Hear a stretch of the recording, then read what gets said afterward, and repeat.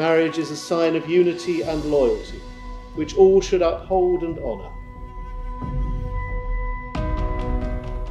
Adam and Joanna are now to enter this way of life. They will each give their consent to the other and make solemn vows.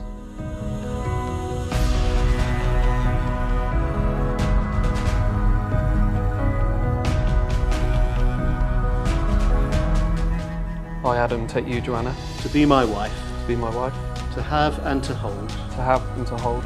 From this day forward, from this day forward, for better, for worse, for better to worse, for richer, for poorer, for richer, for poorer, according to God's holy law.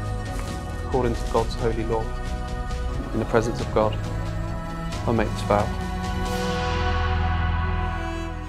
Take you, Adam, To be my husband, to be my husband, to have and to hold, to have and to hold, from this day forward, from this day forward, for better, for worse, for better, for worse, for richer, for poorer, for richer, for poorer, in sickness and in health. in sickness and in health. Joanna, I give you this ring. As a sign of our marriage, as a sign of our marriage. with my body I honour you. With my body, I honour you. All that I am I give to you, All that I am, I give to you. and all that I have I share with you, All that I have, I share with you. within the love of God, Within the love of God, Father, Son, and Holy Spirit. Father, Son, and Holy Spirit. Adam, I give you this ring as a sign of our marriage. With my body I honour you. With my body, I honour you. All that I am I give to you, All that I am, I give to you. and all that I have I share with you, And all that I have, I share with you. Within the love of God, Within the love of God, Father, Son, and Holy Spirit. Father, Son, and Holy Spirit. In the presence of God and before this congregation, Adam and Joanna have given their consent and made their marriage vows to each other. I therefore proclaim that they are husband and wife.